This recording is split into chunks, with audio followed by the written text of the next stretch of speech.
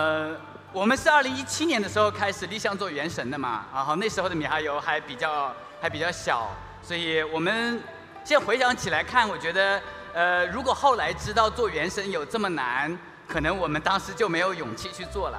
对，所以我觉得当时我们做《原神》的时候，因为《原神》是一个非常非常年轻的团队，大家其实没有太多经验，但是充满着勇气和热爱，所以我们就一直开始做了。然后其实这一路走过来，其实真的挺难的，因为我没有自己的引擎，我们也不知道怎么去做大世界，所以也这样就是非常非常艰难嘛。后来把蒙德城做出来了，所以二零一九年的时候，其实把蒙德城做出来的时候，我们其实挺自豪的，因为我们是一个特别年轻的团队，然后做了手机上第一款开放世界嘛。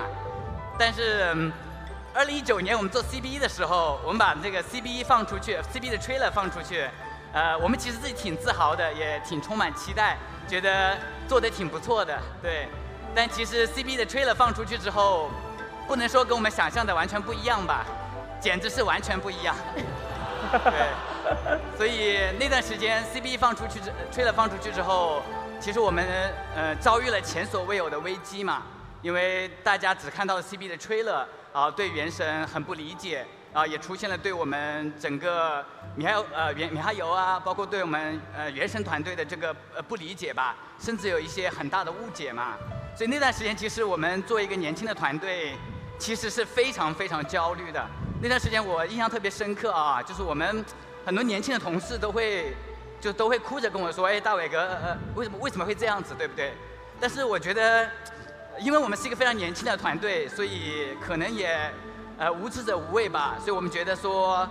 呃，我们要证明自己，我们要把大家没有看到的那个部分做出来。所以从二零一九年下半年开始，我们就就开始闭关，开始去做璃月。呃，到二零二零年两月份璃月做出来的时候，呃，大家就看到了，呃，看到了后来的原神里面的璃月，大家就开始更加理解我们确实在做一款什么样的产品吧。所以那段时间，我觉得。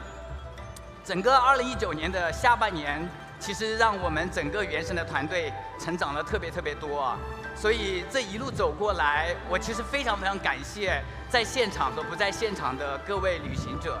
呃，尤其是在二零一九年就陪伴我们的旅行者，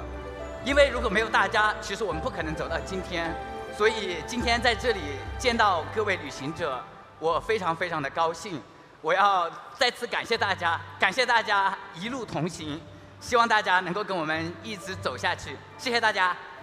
哇哦！